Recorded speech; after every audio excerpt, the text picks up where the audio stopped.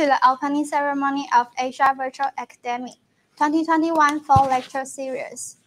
Asia Virtual Academy is brought to you by National University of Kaohsiung from Taiwan, co-hosted by Bicol University in the Philippines, Nong Lam University in Vietnam, Tanjung Pura University in Indonesia, RIT in India, National Zhongxin University and National Pingtung University in Taiwan. This online event provides a platform for knowledge dissemination and collaboration among partner schools. In the very beginning, I'd like to introduce our distinguished guests today. We are very delighted to invite Dr. Ngoc Thuy, Head of International Collaboration of Nong Lam University to give us his welcome remarks. Okay, uh, thank you very much, uh, Anna, for your kind introduction. Uh, distinguished guests, good afternoon, everyone. It is my great pleasure uh, to join with you again today and to welcome you all to the second Asia Virtual Academy organized by National University of Kaohsiung in collaboration with Bicol University in the Philippines, uh, Universitas Tanjung Pura in Indonesia, National University, Pingtung University, and National Chungsin University in Taiwan, Ra Rajaram Institute of Technology in, in India, and the Nong Lam University in Ho Chi Minh City, Vietnam.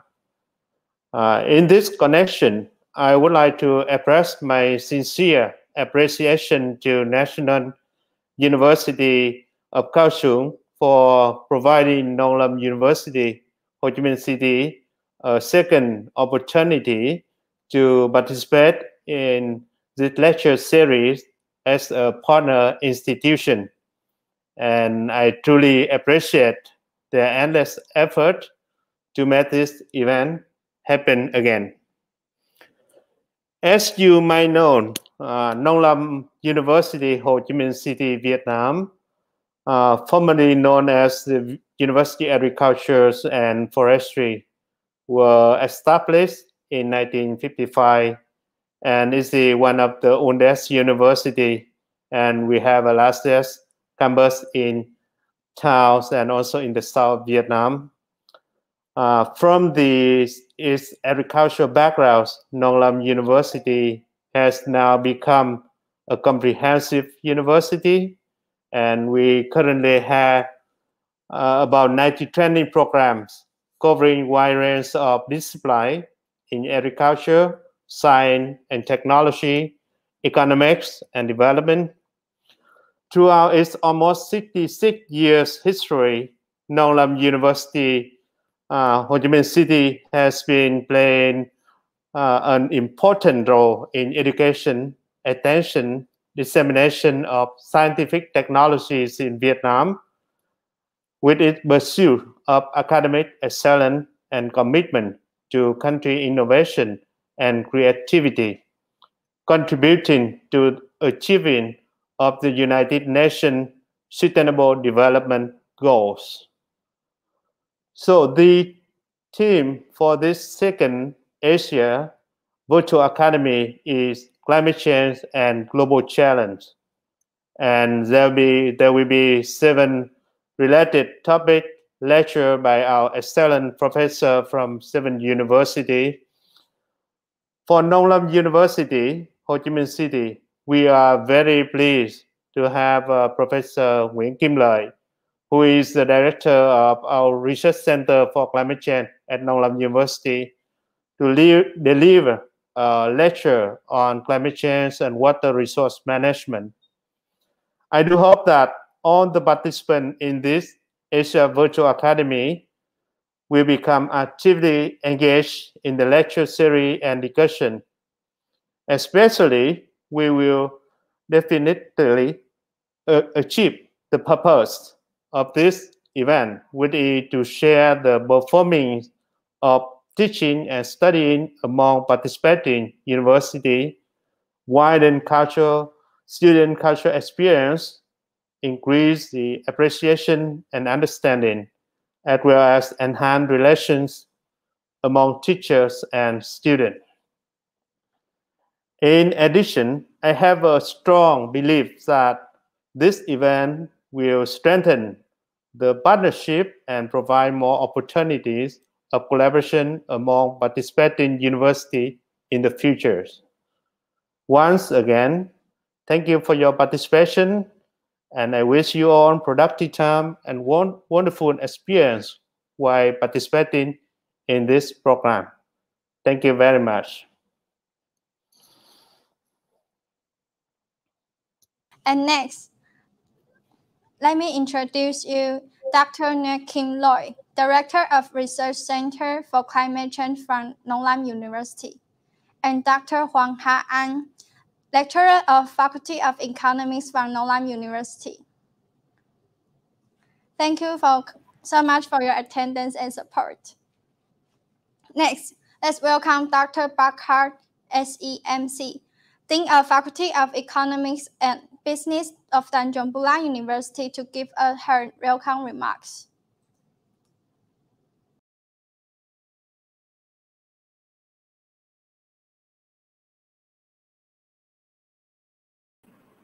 Okay, thank you. Assalamualaikum warahmatullahi wabarakatuh.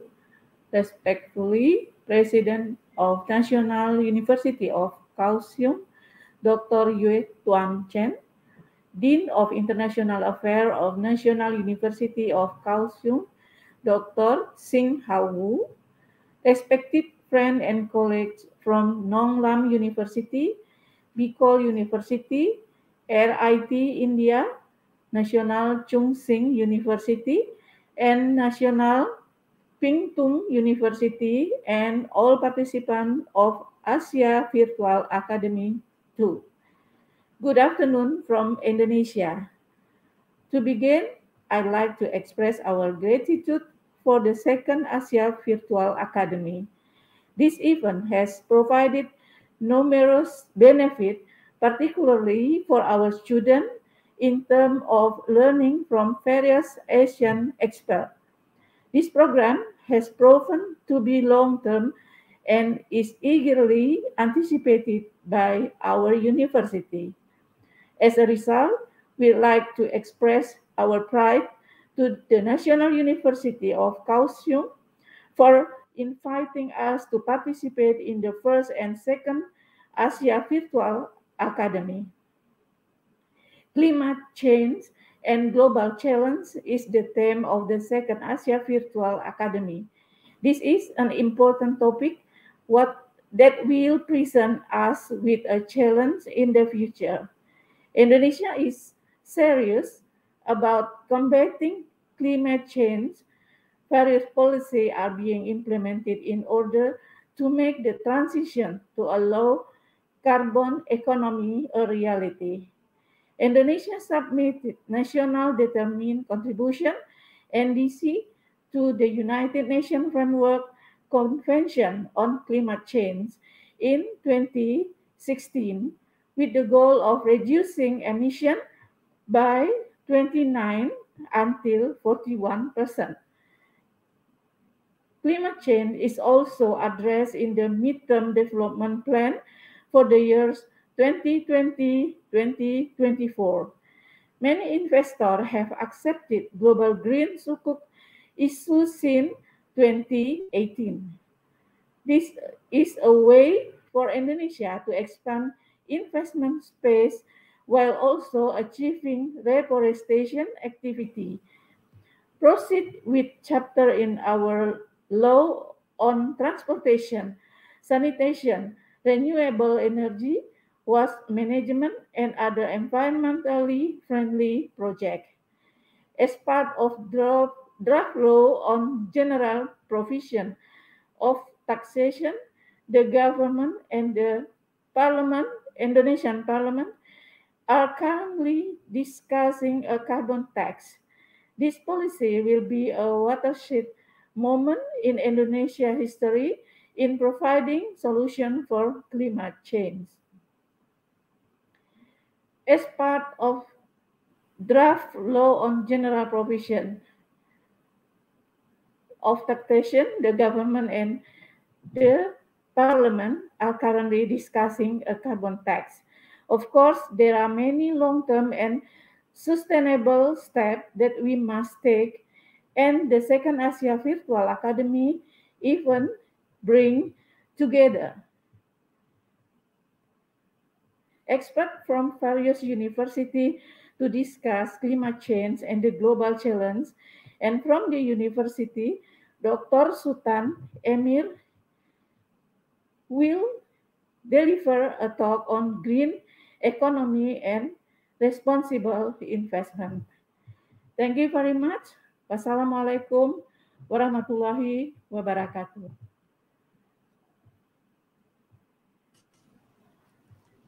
Thank you. Thank you for your welcome message. And let me introduce you Dr. Helma Malini, Head of International Class and International Affairs, Faculty of Economics and Business from University Tanjung Pura.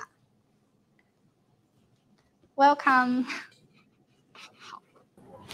Leslie, let's welcome Dr. Yao Ting Zheng, Dean of Office of International Affairs from National Pingtung University to give us his welcome remarks.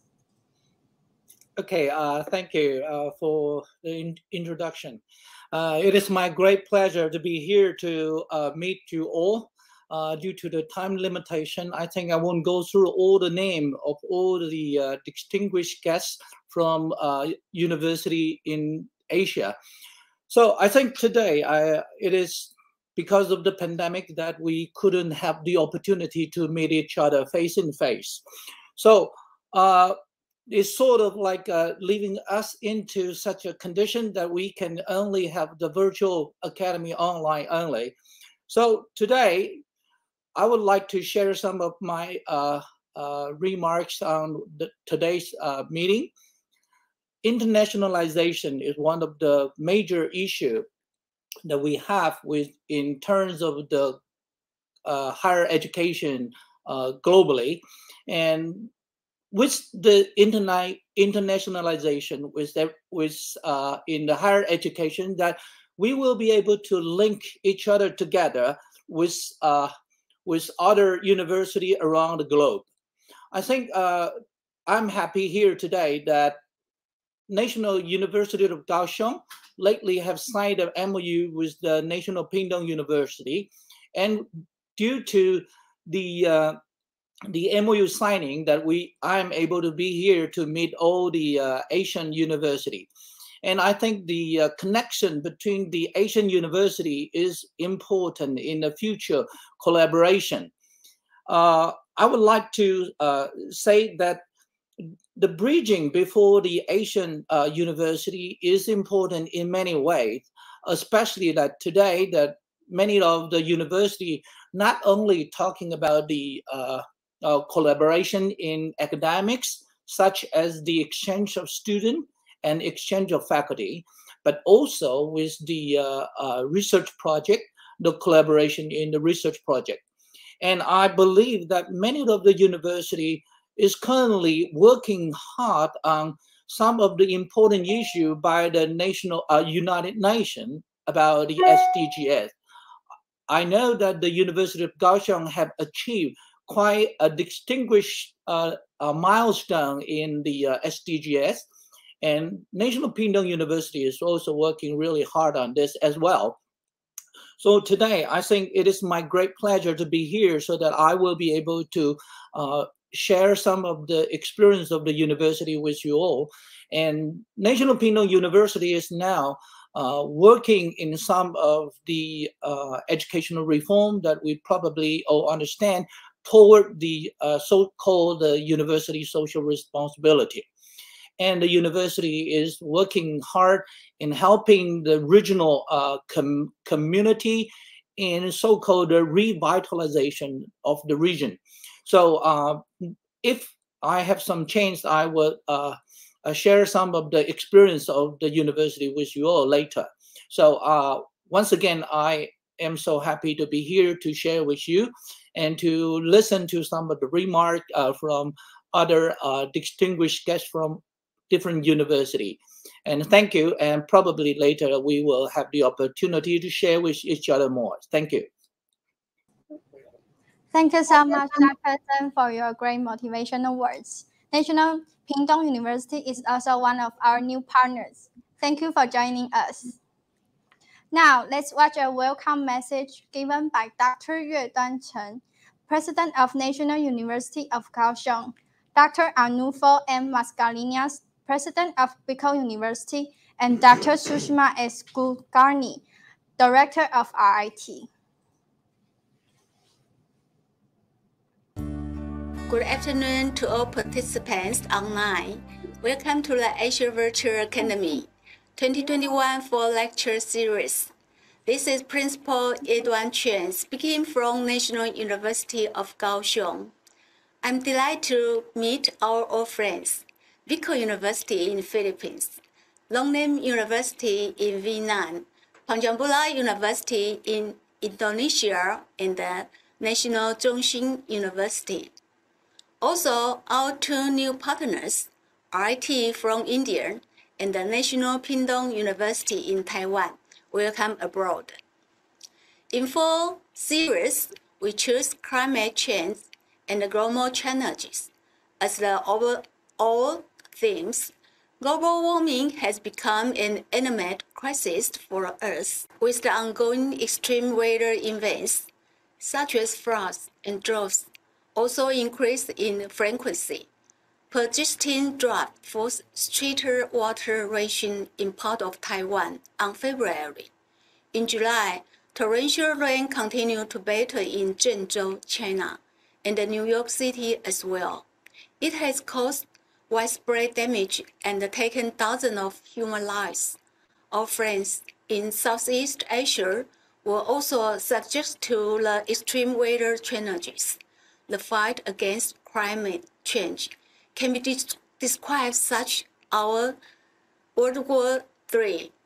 I'm honored to bring you the keynote speaker of today's lecture, Dr. Hsing-hao Wu, Dean from the Office of International Affairs.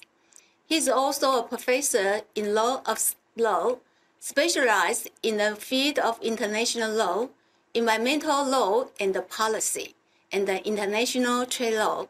I'm sure that he will give you the details and the insightful comments about his speech, moving toward zero carbon society from Taiwan perspective. Once again, I would like to express my deepest appreciation for your attendance and warm support. I wish all the success from the Asia Virtual Academy for lecture series.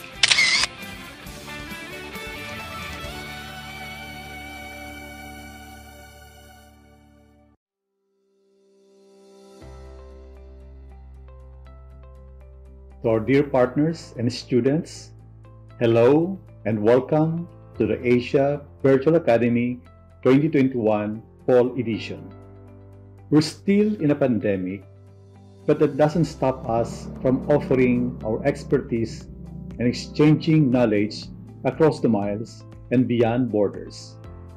If there's one thing this pandemic has strengthened in us, it is the sense of one community of belonging in one global village. May this virtual academy strengthen in you the desire to continue championing the cause for climate change and the many global challenges we're facing as you immerse yourselves into the interesting lecture series. Congratulations for joining this scholarly event. You're definitely in the right academy.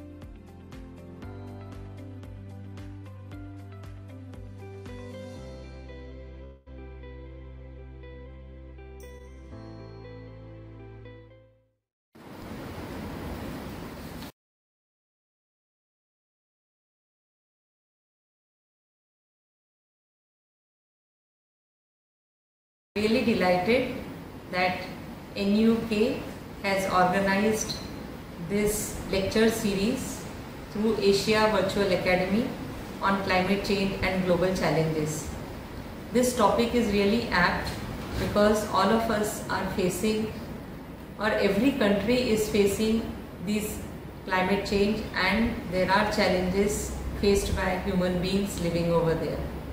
I am very sure the discussions, deliberations during this lecture series will make all us of all of us aware that we need to be more sensitive to the climate, to the ecosystem, to the environment which is around us. Let us all behave in a more responsive way and make this world a habitable world and a sustainable world so that we can transfer it to the generations to come. Now talking about RIT, Rajaram Bapu Institute of Technology. Our institute is located in southwest part of India and it is in a state named as Maharashtra. This region is agriculturally very rich, green area and our students come to learn engineering from our rural background. So this institute has laurels. It is ranked in the band of 200 to 250 institutes, top engineering institutes in India by Ministry of Human Resources Development, Government of India and AICT.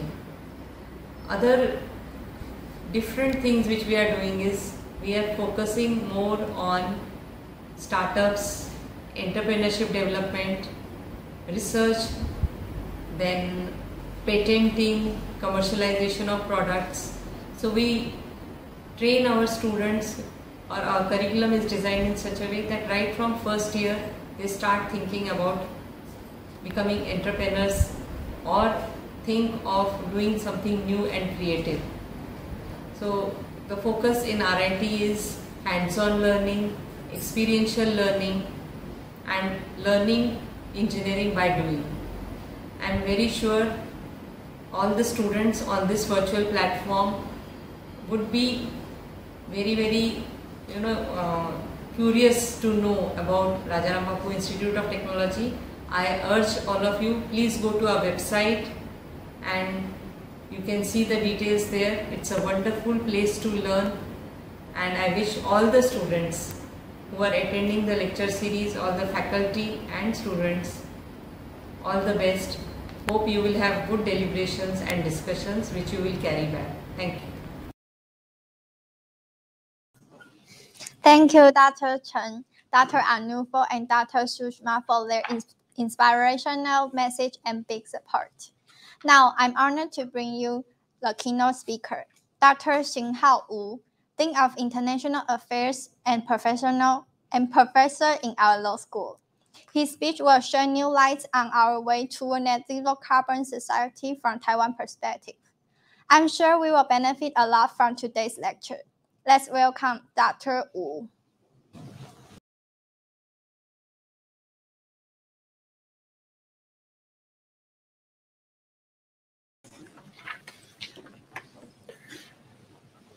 Okay, thank you very much for Anna's introductions. Um, usually I'm be the moderator of the uh, lecture series, but today I'm also the speaker, so it's kind of a relief for me uh, to have more time for preparations and relax.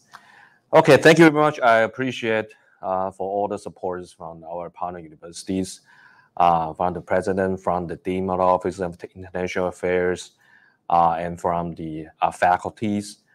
Um, I certainly welcome all the old friends and new friends coming to the AVA uh, fall series.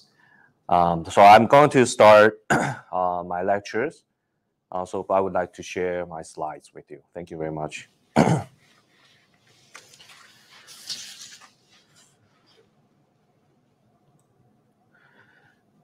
okay, um, so today's my topic will be like moving to a net zero carbon society, and I'm going to speak from the Taiwan's perspective. As you may know, that I always also um, distribute some information for tomorrow's um, international webinars, and it's also the theme uh, as moving to a net zero carbon society, um, but not from Taiwan perspective, of course, uh, with uh, other disciplines and from other regions and from other countries. So I certainly welcome you if you uh, would like to know more and would like to learn more about the net zero uh, information. I uh, certainly welcome you and I invite you to come to the webinar tomorrow. Okay.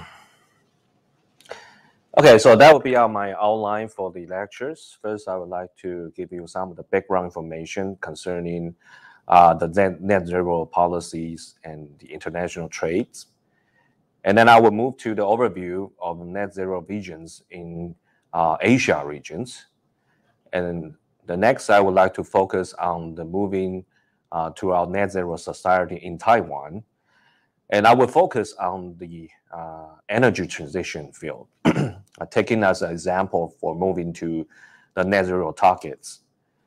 And finally, I will give you some of my observation uh, in these themes and the future prospects uh, for Taiwan and how we uh, can work together with our ancient neighbors. okay, so why we talk about the net zero? Because in the face of challenges of global climate change, as you may know, the extreme weathers, uh, the disasters, and the temperature rise as well. So the international society finally reached the Paris Agreement.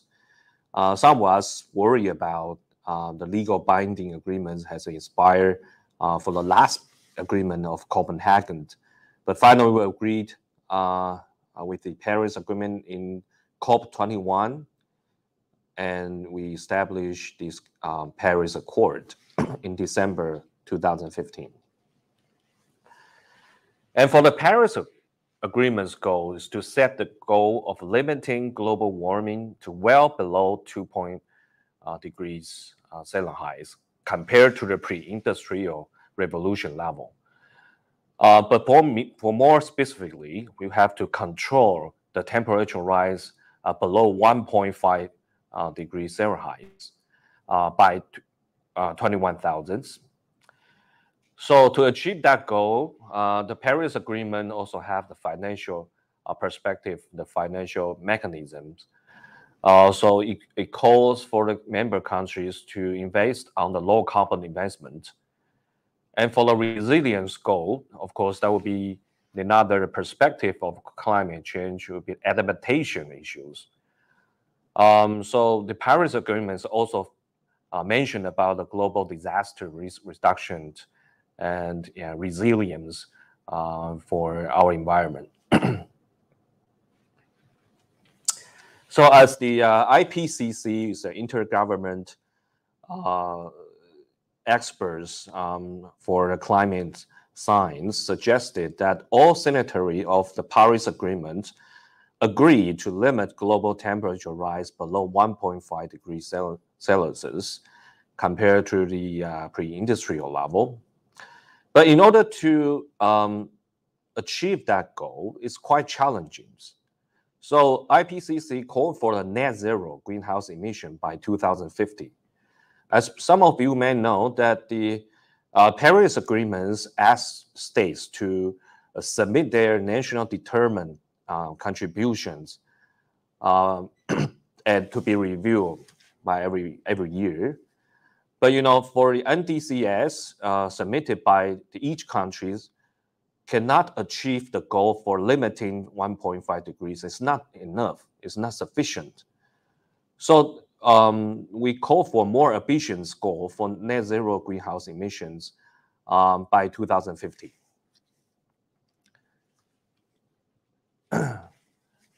so um, in 19, um, uh, 2019, um, another issue arises for the deforestation and degradation uh, of the forest sometimes bushfire, wildfires.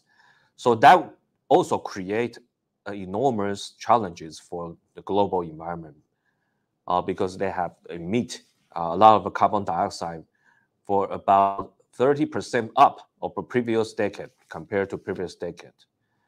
For some tropical forest emission as well, mainly from Indonesia, were twice about the previous decade due to the uh, climate change, of course, the dry conditions, that will promote the peat burning and deforestations.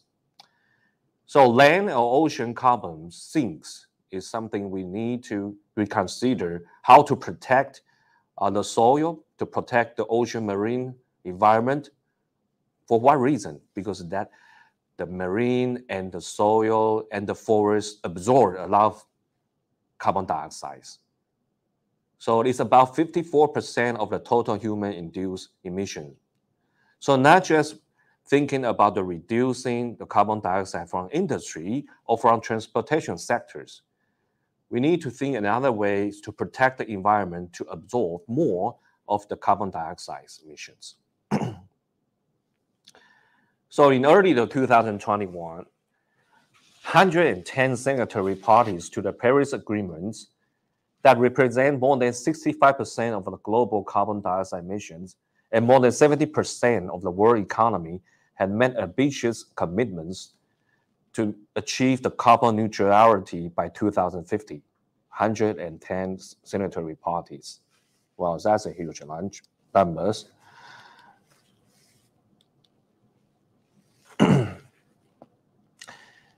uh, so from the energy perspective, some of the top inter international energy and climate leaders gather at uh, the International uh, Energy Agency for COP call for the COP26 that will be held next month for the Net Zero Summit on March 31, 2021.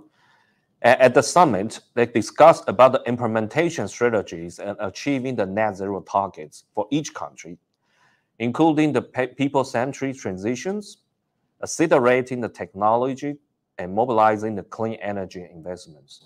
So the net zero target is not just a target, um, uh, and the world leaders has already uh, come together to uh, seek for uh, practical solutions and practical implementation strategies.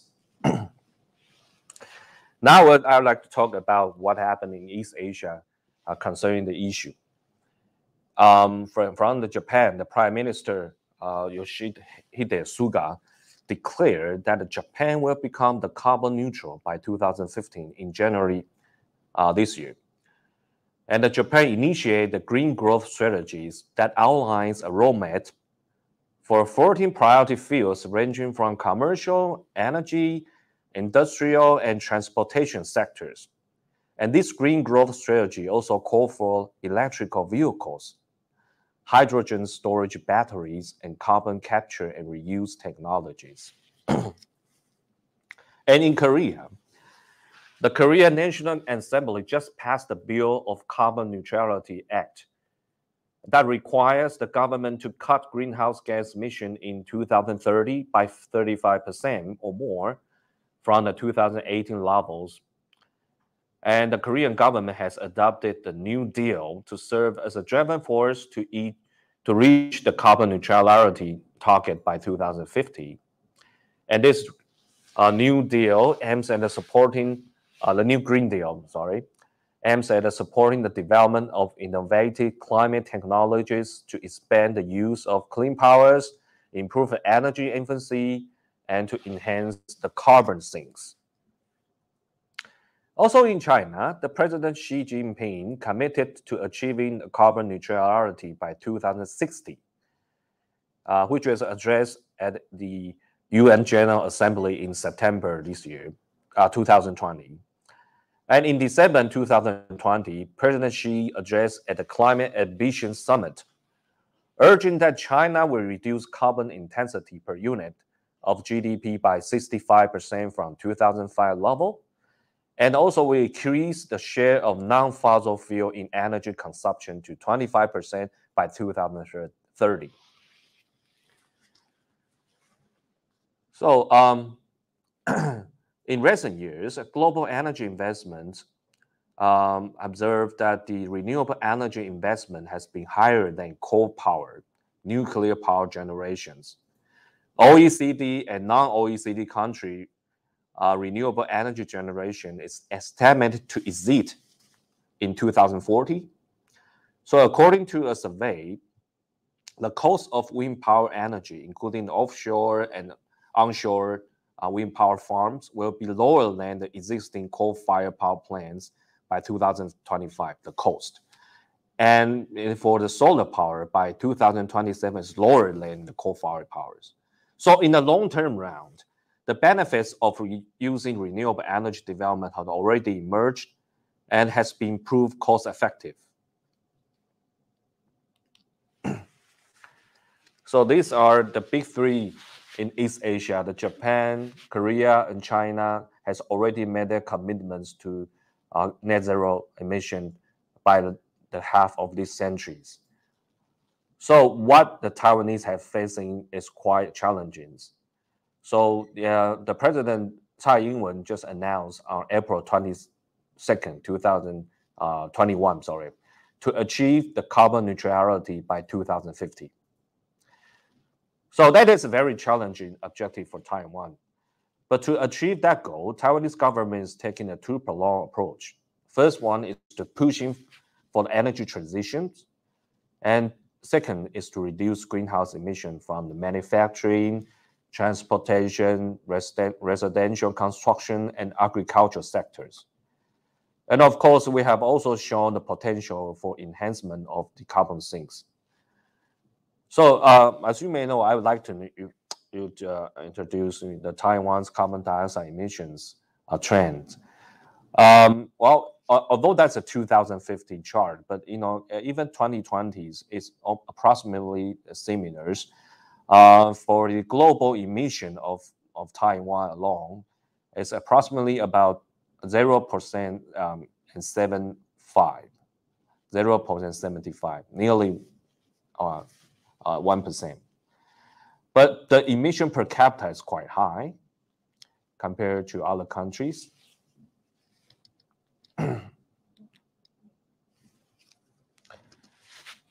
So I'd like to introduce you the vision of net zero in Taiwan. Um, we have established the net zero pathway task force um, to declare the Taiwan's commitment for achieving net zero emission by 2015. And the task force is mainly conducted by the National Development Council to oversee uh, the interagency actions. Uh, we have uh, four divisions for this task force. One is the decarbonization of energy, energy efficiency and industry division, green transportation, and carbon sink.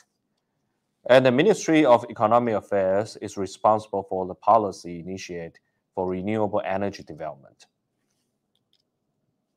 Okay, so that is the chart, uh, institutional chart for this net zero pathway task force. Four divisions, mainly on technology, industrial energy efficiencies, and decarbonizations, and with different um, ministry to responsible to administrative the initiate. Okay, that's a greenhouse gas we have not just for industrial reductions, but also uh, we promote offset strategies. Okay, um, that we can work with the international partners.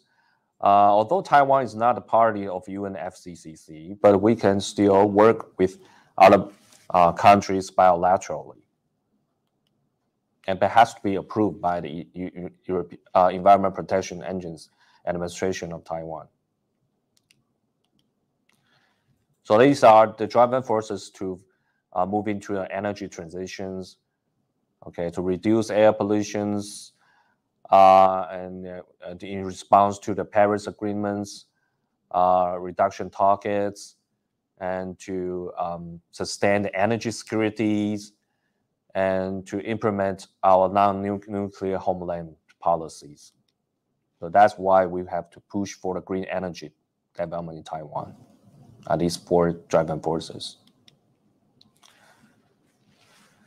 So why we why do we need the renewable energies? I mean, um, if you look at the chart, the stability from the stability points of view, fossil fuel is quite stable compared to renewable energy. But for the cost, probably in the in the short term, the fossil fuel is is more low cost, more lower than renewable energies because you had need to invest for installations. Um, but in the long run, of course, just I mentioned uh, that in 2027, even solar power, wind power, the cost is lower than coal-fired powers. Okay, so even from the economic perspective, that's re reasonable to push for the renewable energies. And of course, that would achieve our low carbon, even the, the uh, carbon neutrality targets uh, by the, the, half of a century. So that's what I would do. Uh, so when you look at the uh, the benefit and advantages, why not renewable energies? So now I, I would like to have the brief introduction to the background of the uh, renewable energies uh, in Taiwan.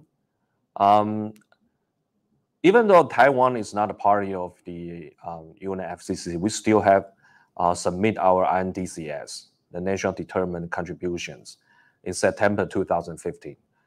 And, and our uh, target would be the 20% of greenhouse emissions should be reduced by 2030. And in response to the target, Taiwan's Congress has just passed a law for Greenhouse Gas Reduction and Management Act uh, in the same year of July 2015. And the act sets the national greenhouse long-term reduction targets for reducing greenhouse emissions more than 50% uh, compared to 2005 uh, level by 2050. That's our targets. Uh, and we have been written in the law. And the, uh, the overall policy framework for the renewable energy development in Taiwan would be the sustainable energy policy framework.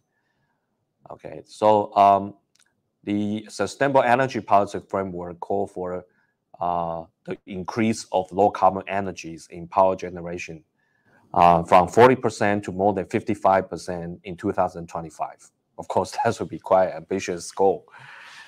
Um, but for now, um, I mean, we have just more than 8% of the overall power generation system. So uh, we, would like to, if we like to reach uh, the 55% targets in, by 2025, it's quite challenging. So now the, the natural gas power generation increased more than 25% uh, in 2025. That could be served as the uh, intermediate approach uh, for uh, moving to comprehensive energy transitions uh, policy visions. And we also have the energy management law that mandates Ministry of Economic Affairs to propose the guidelines on energy development, and it's approved by Executive Yuan. And the recent guidelines on energy developments um, caused that the energy management law required energy policy framework should be reviewed and amended in every five years period. So um, because the law has is quite difficult to amend it, so uh, the law itself has a call for the re, uh, periodical reviews of this energies uh, policy be, uh, due to the uh, change the dynamic of international environment. so one of the main things of energy policy framework is to ensure the energy security, diversify energy supply, and to promote low carbon and self-sustained energies. Okay. So I would like to um, um, introduce the legal framework of the promoting renewable energy uh, in Taiwan. Taiwan established laws on promoting the development of renewable energies through the revision of this Greenhouse Gas Reduction and Management Act and of course, we uh, have the Renewable Energy Development Act and also amendments to energy management law uh, since 2009. So these are we call as a three energy law, three big three energy law. Um, the energy management law required uh, the Ministry of Economic Affairs to formulate energy development policy framework. And in the 2009 revision, the central governments required to set the energy development and energy supply capacity efficient regulations. Uh, and the law stipulates that the large scale of energy users who produce steams are obligated by law to install steam and electricity uh, equipments.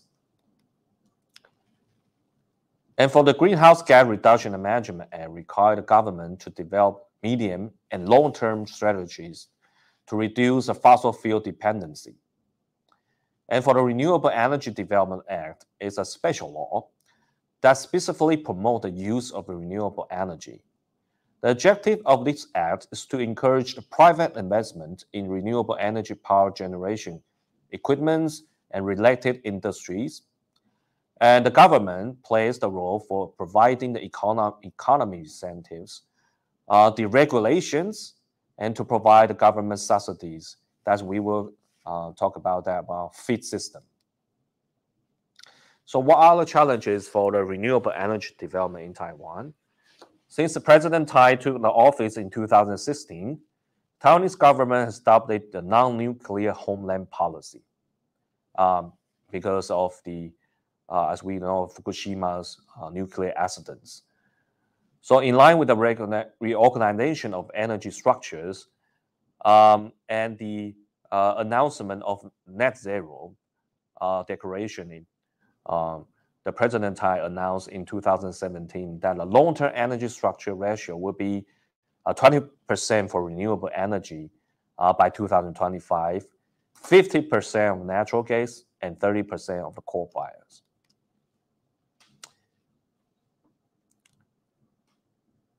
Okay. Um, so, so this is the latest uh, amendments of the law uh, in, tai in Taiwan. The latest amendment of a law would be the electricity law in 2017. The purpose of these amendments to promote energy transformation, reduce carbon emission, and promote the diversified supply of electric electricity. And also the law uh, implement the policy of this non-nuclear homeland policy, no nuclear power plants. So the law clearly stipulates that all the nuclear power generation equipment should fully stop their operation by 2025. But you know that the uh, the non-nuclear policy has also faced a lot of challenges uh, in, in, in Taiwan. So in 2018, the referendum uh, initiated by the civil society to abolish the provision of this non-nuclear homeland policy. Um, and the referendum obtained nearly 5.9 million consent votes, passing the thresholds. Uh, so the clause is officially invalidated by the Central Election Commission on December 2, 2018. Accordingly, the three nuclear power plants Taiwan will have the opportunity to extend their operation period and may even restart operation of our fourth nuclear power plant because of the result of referendum. So um, the future for using nuclear power for feeding green energy policy is still unclear. But nevertheless, it will not affect the path of our energy transition to green and energies.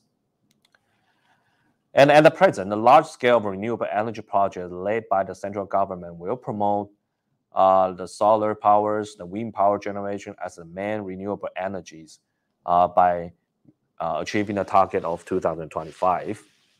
And these are the incentives just mentioned about the fee in tariff rates.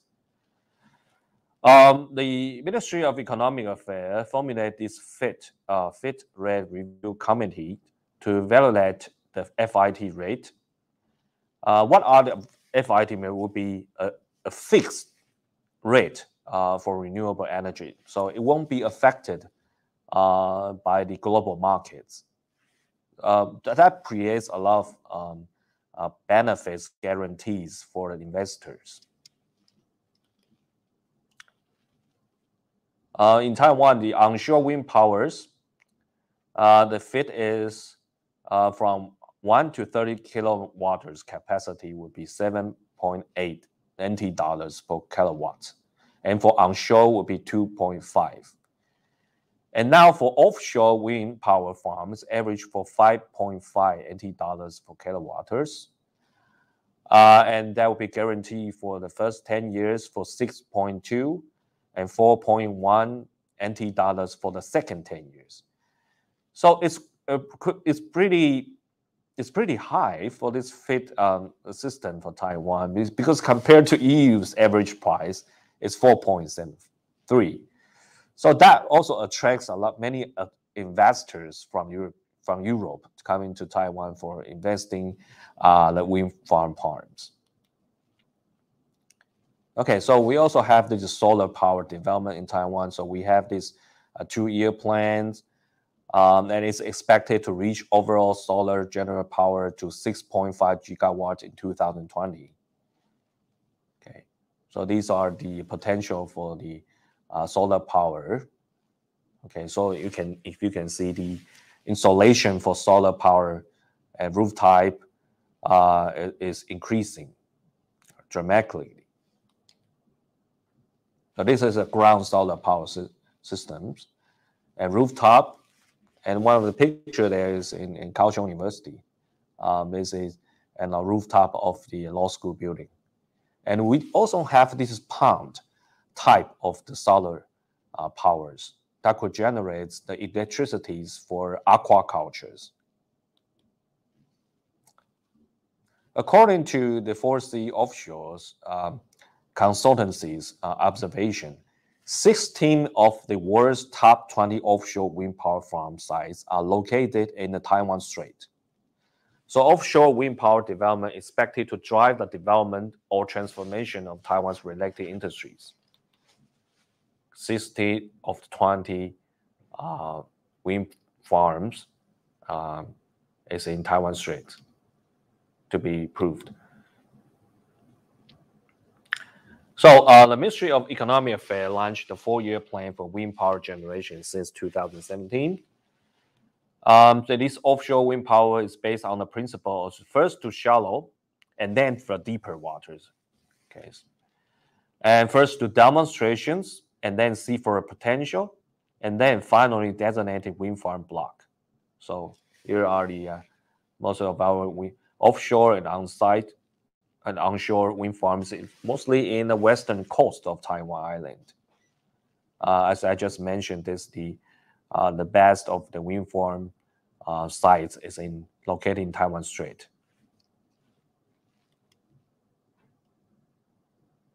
Okay, so there's a three phrase. Uh, so now we have 22 offshore wind power potential zones. First to allocate by selections and then um, proceed to phase two will be allocation by competitive bidding. Um, so that attracts many uh, international investors. And in the phase three would be the auction process that apply the remaining uh, two gigawatt install capacity, capacity for lowest bidders. So the uh, so far the Ministry of Economic Affairs has a total of 10 gigawatt offshore install capacity capacity for allocations. Okay.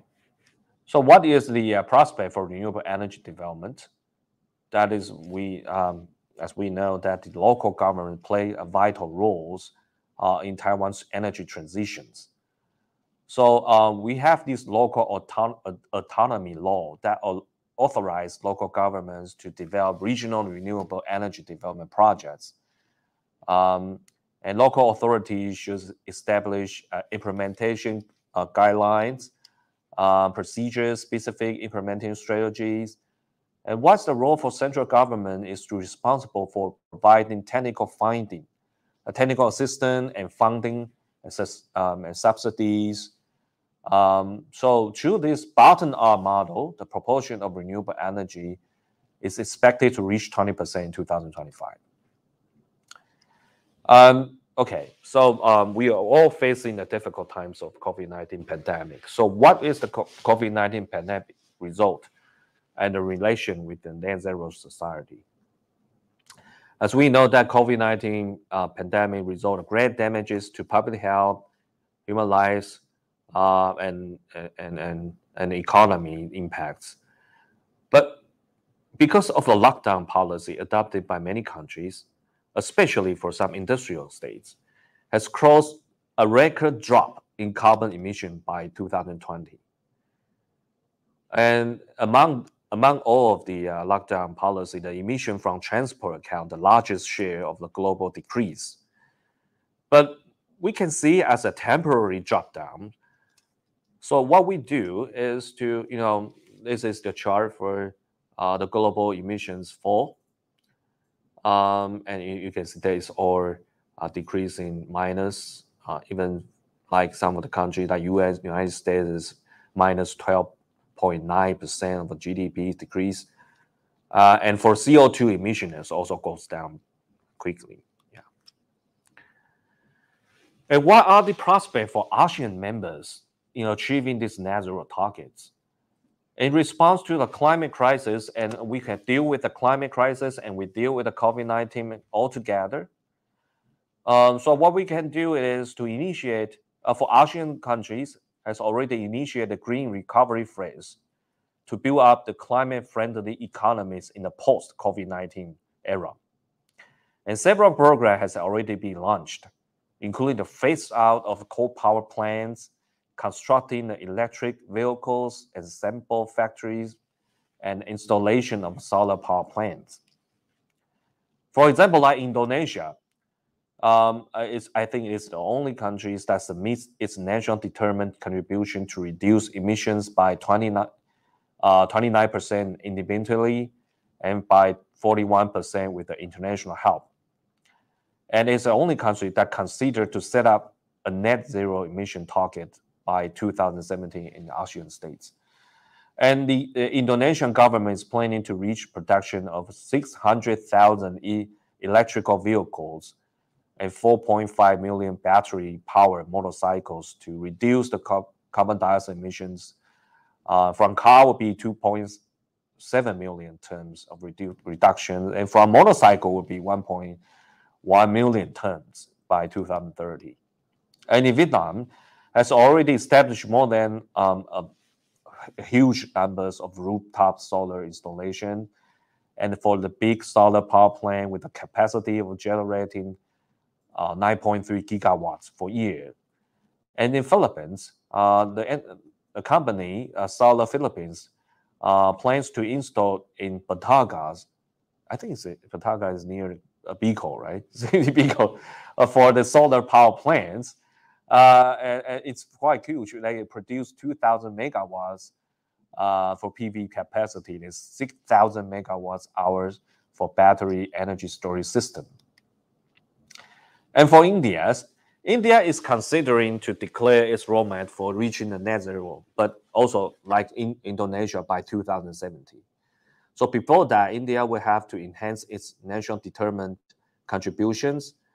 Um, so there are three elements, main element for the uh, NDCS uh, submitted by India. First is to reduce the emission intensity of GDP by 33% to 35% by 2030 and to achieve about 40 cumulative electric power install capacity from non-fossil fuel-based energy resources uh, with the help of a transfer of technology and low-cost international financing.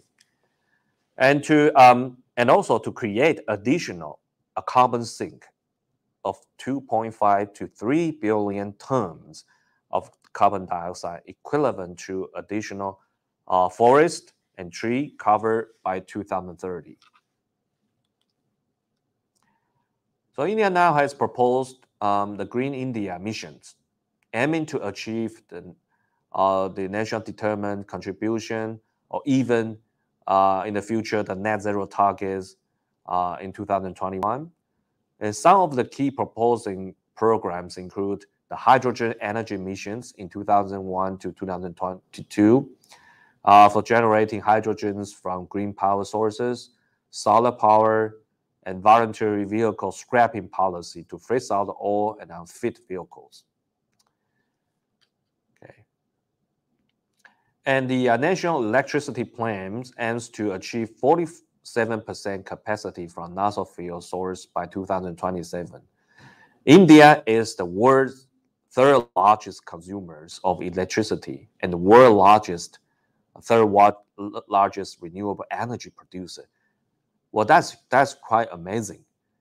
100 and 136 gigawatts from from the point of view of total installed energy capacity in 2020.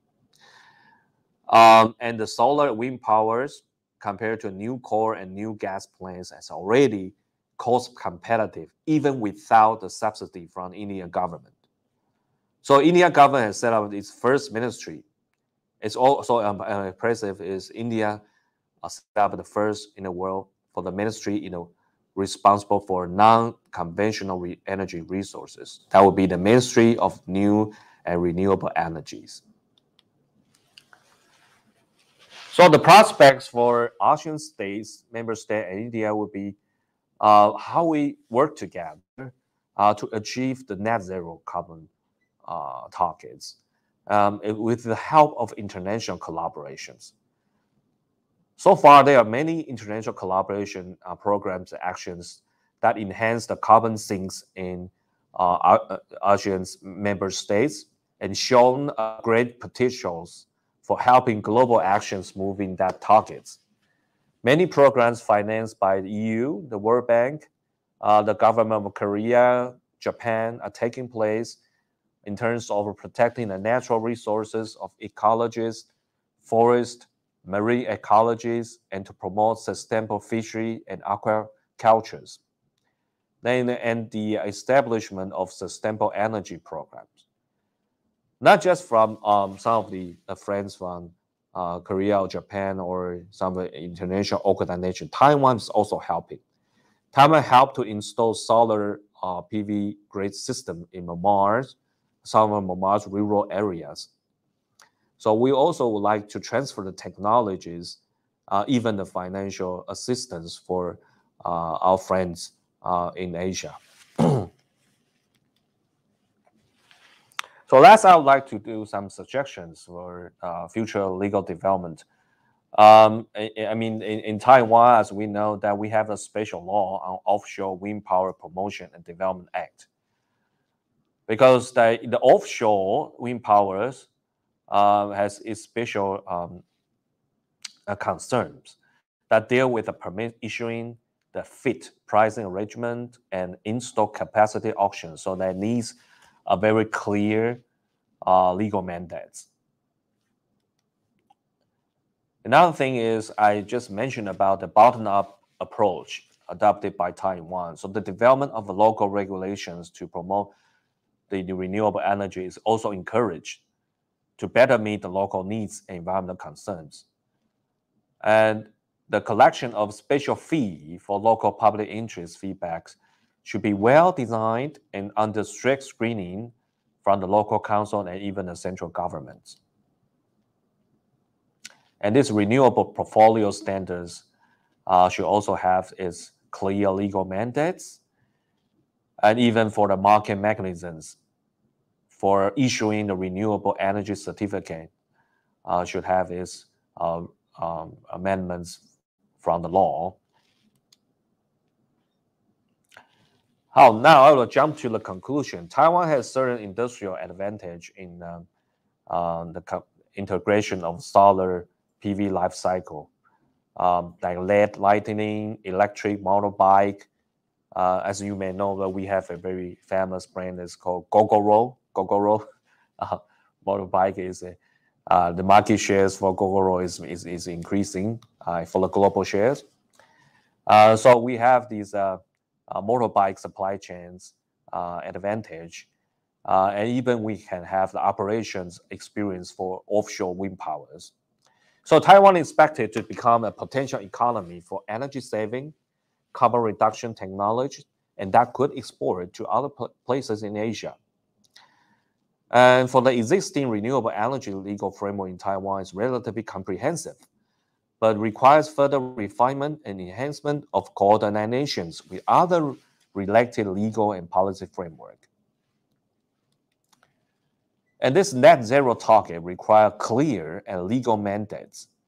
And we can we should have these clear roadmaps and policies in terms of institutional arrangements.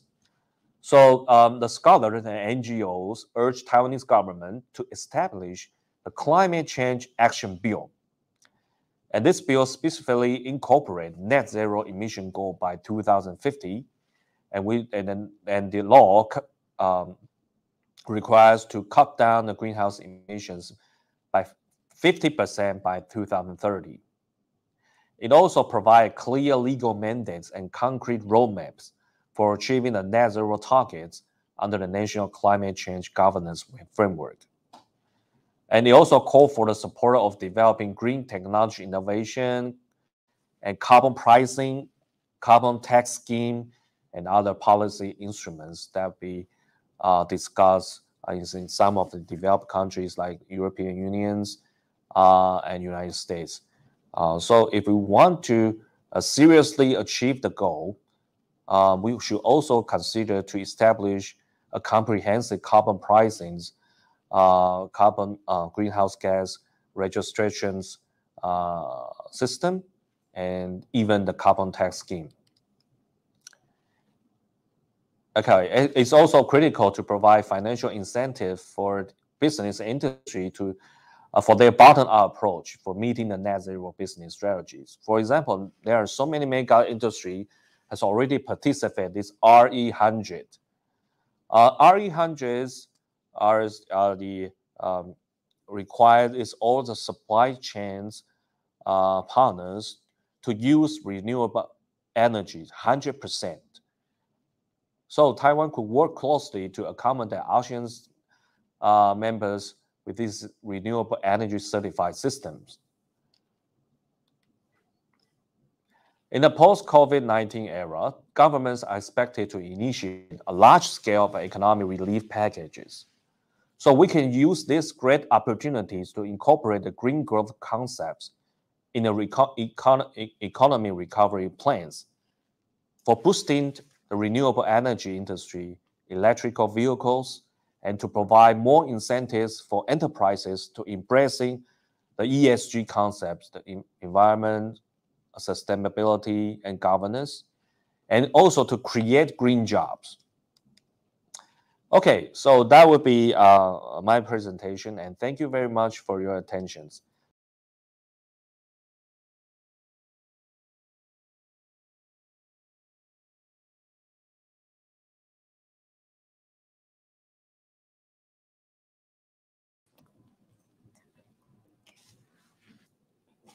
Thank you, Dr. Wu, for your insightful speech.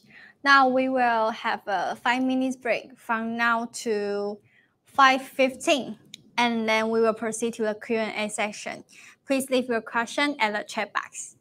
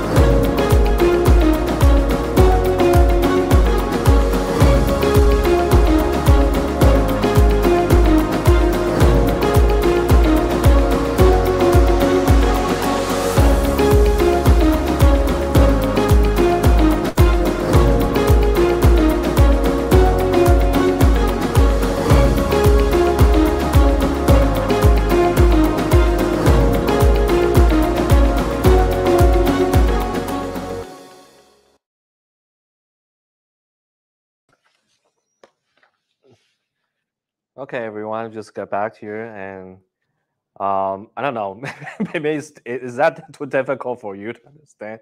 Uh, or I think it's because of law. Uh, I, am the law guys, I'm lawyer, so uh, I talk too much about law. But I still have two questions um, aligned, and, and and and one of the question is uh, why law is important to promote renewable energy. Yes, um, I think it's it's quite vital to have uh, a comprehensive legal framework dealing with the renewable energies. Um, as because I don't have much time to describe um, for the wind powers issues in Taiwan.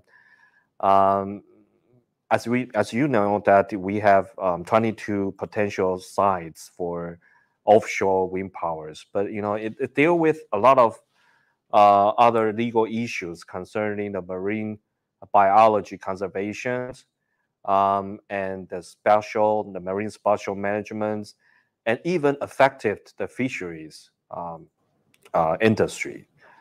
Uh, so because there are so many stakeholders um, in, in terms of renewable development, uh, some people get benefits from renewable energies, but some people, uh, some uh, interest group may be affected because of uh, renewable energies. of course, we, we, we deem the renewable energy as environmental friendly, but on the other hand, they also have some environment impacts. Uh, for offshore or onshore uh, wind powers, we have the noise, noise uh, problems. Um, some of the people complain, especially the neighbors um, next to the uh, the wind farm power, the, the wind power farms um, they, they, they become anxieties, nervous, uh, because there's low frequencies noise. Um, and the other thing is a landscaping effect, um, because the, if you see a lot of huge uh, wind powers um, along the coastal sides, um, for the landscaping or scenery uh, purposes, it have we have some negative impacts um, even for my, my, my migratory birds.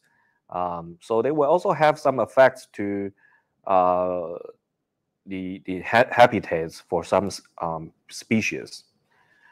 So once it deal with a lot of uh, legal issues, um, and it, it's it's quite important to have uh, a comprehensive legal framework that could uh, coordinate many ministry institutions um, to have this comprehensive policy uh, making uh, framework um, and to meet uh, many interest groups or um, stakeholders um, uh, necessities. Um, that all requires law uh, to have these uh, specific rules or guidelines or the procedures to follow. Okay, and, and the second question is um, is from um, Avius. Uh. Um, since nuclear energy is an environmental friendly option in pursuit of zero carbon emissions, um, does this undermine its application in the fields of medicine and biotechnology?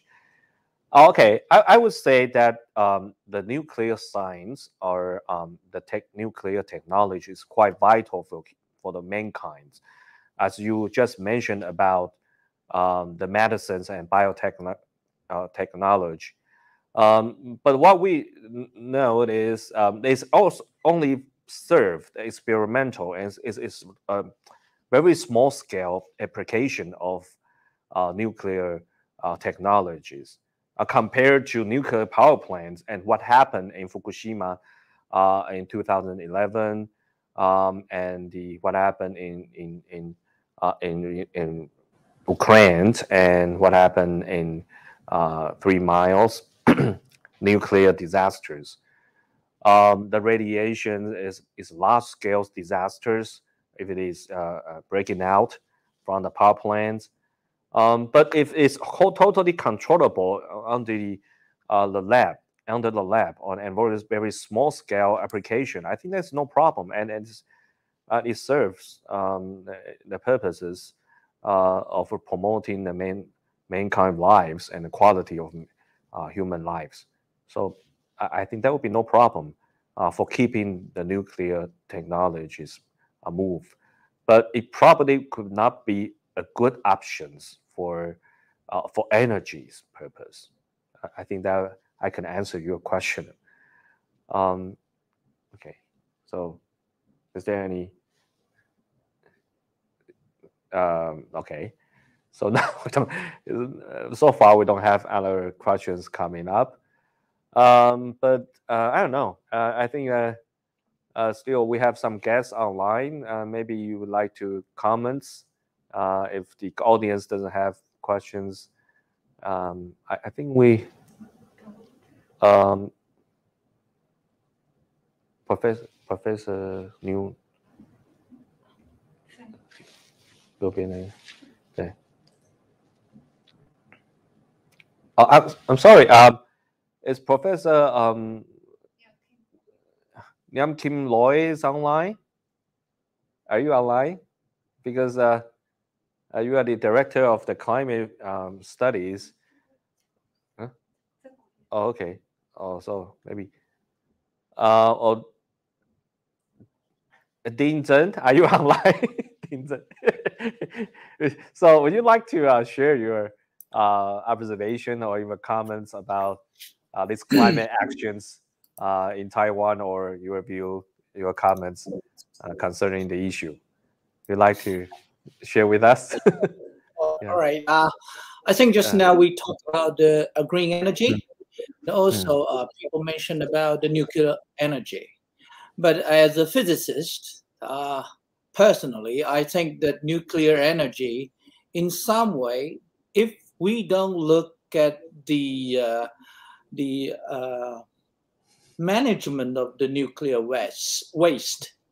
Hmm. I think nuclear energy, in spite of the two major accident or three major accident mentioned, I think that it is quite safe in terms of uh, my points of view, because uh, the usage of nuclear energy has been there for more than 50 years so far. And especially in Taiwan, that we can say, if we take Taiwan as one of the e example that uh, since the applications of the, since the imp implementations of the nuclear plant in Taiwan, it has been more than I think 45 years or so. So uh, I don't see a, uh, a, major accident happen here in Taiwan. So from the point of view, it's only a matter of management. It is not the technology. So from the scientific point of view, I would consider nuclear energy something that is safe. But of course, there are a lot of different uh, arguments about the use of the nuclear uh, energy, especially today.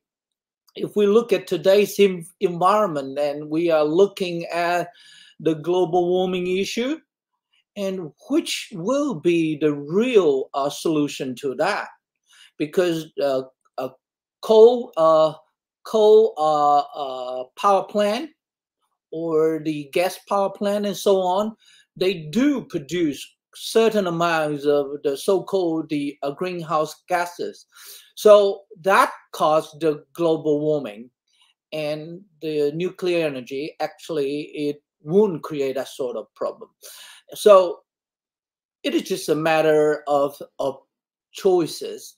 What do we want to choose? Especially today when we are looking at the uh, serious uh, climate change in Taiwan or in the world and serious flooding, serious droughts everywhere in the world. And that caused the uh, uh wildfires in Australia, in Europe, in other area. So, well, there is also there is always uh, advantage and disadvantage. It is just only a matter of choices that what we want. So, uh, of of course, people talk about green energy, but somehow the green energy has some kind of limitations especially when we are talking about the vast amount of energy needed for the human being, for the industry, for our uh, daily lives, and so on. We need something that is solid as the fundamental part of the uh, uh, power usage. So, well, people just have to make some choice uh, to to decide whether they would like to uh, reject the nuclear plant, nuclear power plant, or they would like to choose the coal plant, because either way had their own uh, have their own risk. So it's just a matter of choice. So I I cannot say uh, which one is better, but I think from the scientific point of view, personally, I would think a nuclear power plant in some way is is safe and uh, probably is better to control the so-called the global warming issue. Okay, thank you. Okay, thank you very much for um, Dean Zhen's uh, comments. Because Dean Zhen is a scientist and I'm a lawyer, so uh, it's a very good um, opportunity for us to to proceed for the questions with in different ways.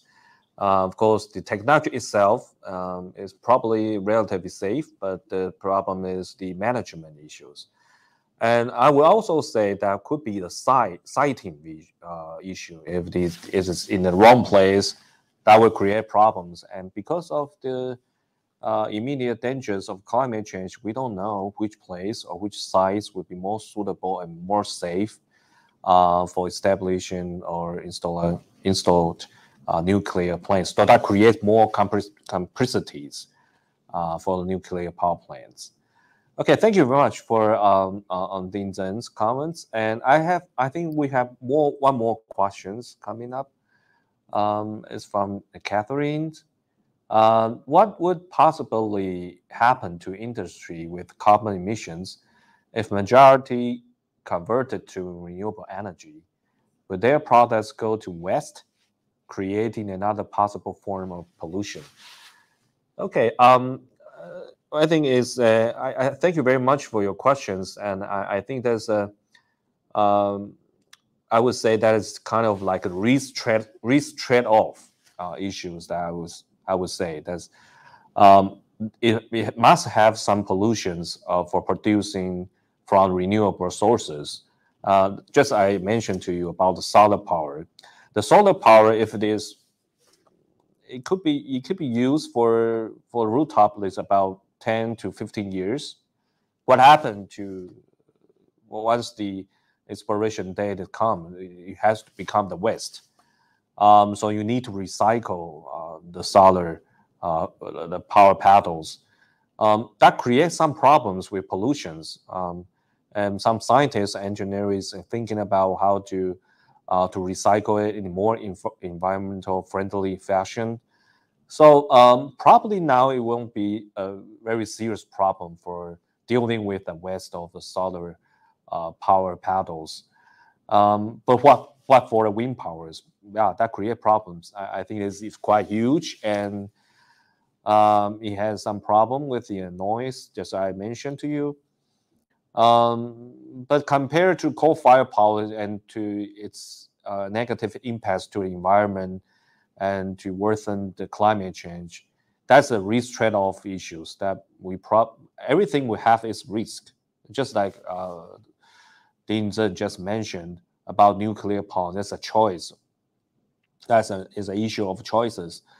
Uh, but we, we should proceed to what is the most immediate dangers and with a lower risk and a lower cost uh, option we have. Just I mentioned to you that um, in the past, people think that coal-fired uh, power is stable and it's cost uh, is less cost, but um, many of example, especially India, uh, has already shown us that it's more cost effective for adopting the renewable energies um, than the coal, the new coal-fired plants or uh, the gas uh, power plants. Uh, so from an economic perspective, or even from an environmental perspective, I think the industry will uh, would, would make the good choices for converting to renewable energy. And then because of a law, require. Um, and, and why the law should require industry to convert to renewable energies is they are achieving, they're trying to achieving uh, the uh, carbon neutrality targets uh, by 2050, 2070s.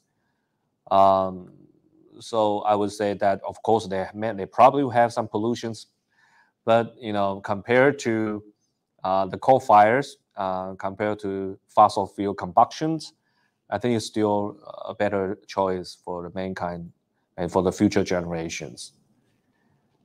Okay, um, any other?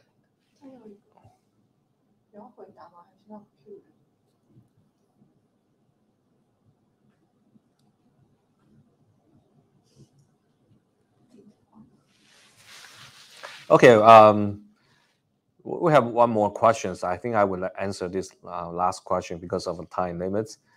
Uh, is from Jojo. Uh, with the emergency of serious and widespread power crisis um, in countries all over the world, how can we able to achieve and meet the net zero goals uh, without compromising our need and demand for energy and electricity?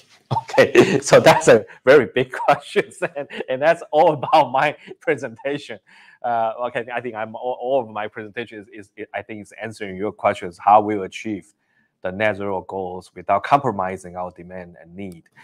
Um, yeah, I, I think probably um, what we can know that it, because of a COVID-19 pandemic, that's, that creates opportunity for us to rethink uh, about the, the, our climate actions. Uh, is that enough, and or is it sufficient? Because we uh, we were focusing on the uh, pandemic control for the past two years, um, and we also witnessed that without human activities, decreasing the frequency and, and of human activity, especially for traveling, has dramatically, dramatically dropped down the carbon dioxide emissions in many countries. Uh, and, and, and, and, you know, only one, only for one years, uh, you can see many uh, animals and, and, and even some endangered species show up in the urban areas. You know, uh, even you can see uh, the dolphins um, swimming uh, in in, in uh, Venice, uh, Italy. so because of a lockdown, so what, what is the the major pollutions in the world? What is the the most endangered uh, to the world, um, to the to the earth, would be the man, the human.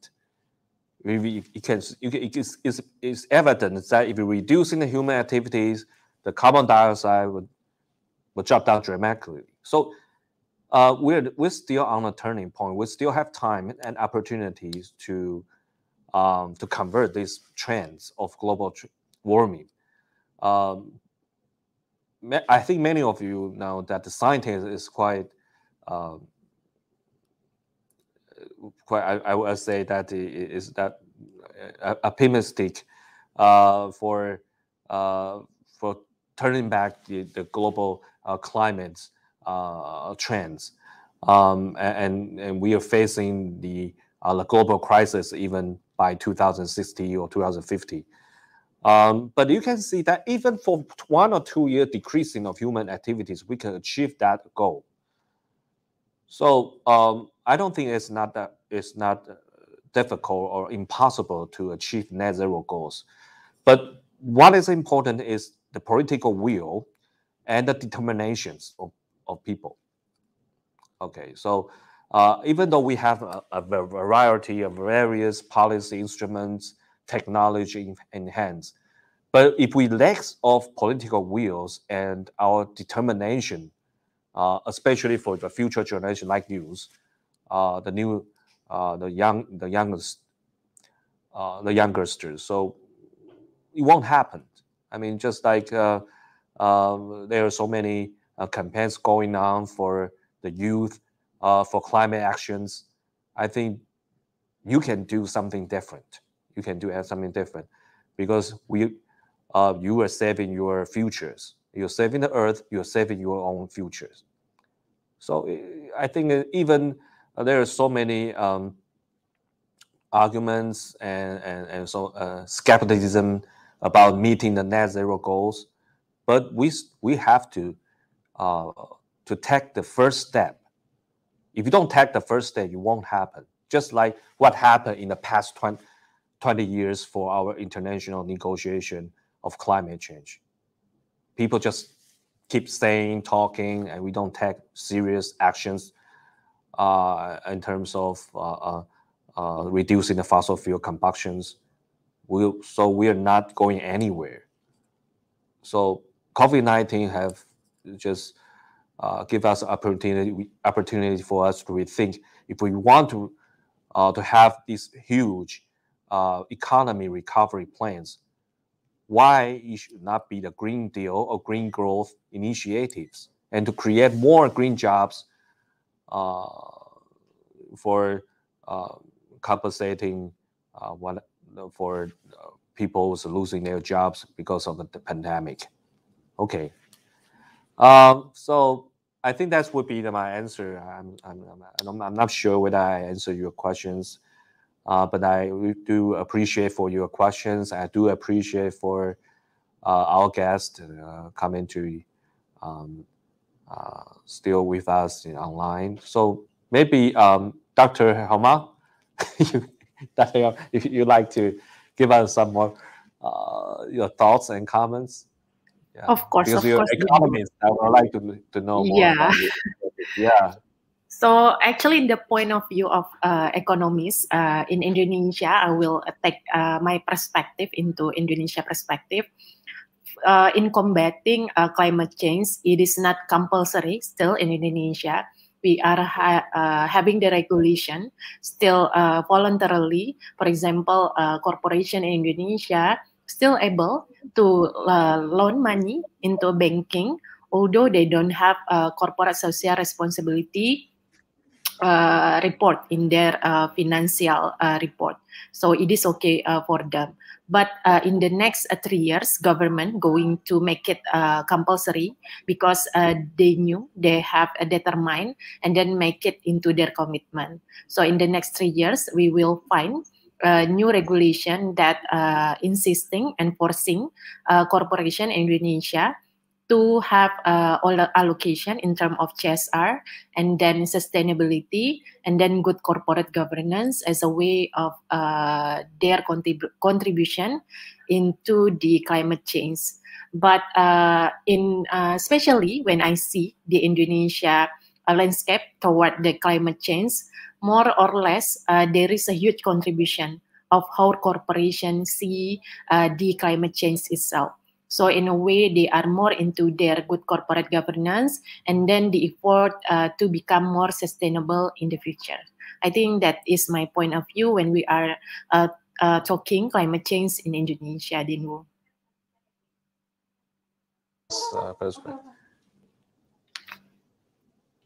Uh. Okay, thank you very much for Dr. Helma's uh, insightful comments, especially uh, for the policies and business trend in Indonesia. So finally, maybe I would like to invite uh, Dean Tree, uh, still online with us.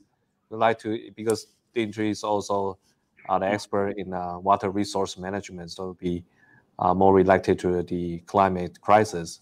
So I would like to hear uh, Dr. Dean's, Dean Trees for your comments and thoughts. Okay. thank you very much, uh, for yeah. your very comprehensive reviews of, uh, you know, our country in the Asia and Asian country moving toward the net zero uh, carbon uh, society. And uh, I think Vietnam also take uh, very uh, aggressively action to do that. And but I got one question or one comment from the student about the do we create another problems uh, uh, you know in uh, when we respond to that the, the, the, the issue? Like in Vietnam as my experience that um, see there are so many uh, the, the installation of the solar power panels. And that uh, I, I, I keep thinking where the panel going after the use of uh, you know when after 10 15 years and uh, that uh, is that a, a, solution for the future. Um, and uh, also for the the, the uh, for the nuclear power plants. We have uh, in the past, I think about five ten years, have big uh, plan, master plan to uh, for the uh, nuclear power plant in the coastal region of Vietnam. But you know, um, I think the last administration, after considering the you know the the risk of nuclear power, so the project support to be um, funded or invested by investor by the Russian government has uh, suspended. So it's uh, it's no longer in in in, in the, the, the government uh, uh, plans. So you know, um, I think it's already late for for this. So my um, I think that I hope that we can go back to this issue some days and uh, discuss about this. Uh, but uh, that uh, really, uh, I think, very very good and issue that we, we we we need to revisit in the future.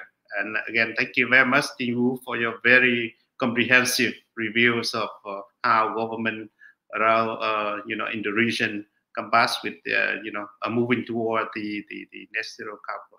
Thank you. Yeah.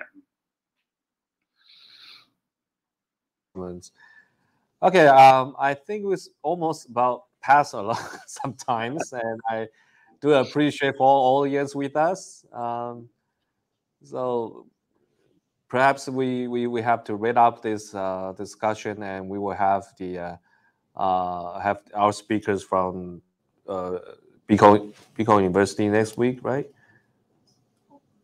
Uh, okay, yeah, I appreciate that. So um, I think I will just read out this uh, this uh, opening sessions, and I appreciate for all your support and with us and all the audience for your wonderful questions.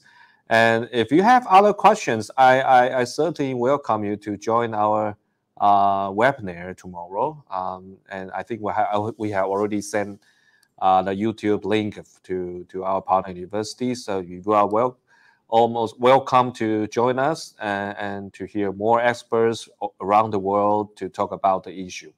Thank you very much for coming and thank you very much uh, for all your supporting. I will see you next week. Thank you very much. Bye bye.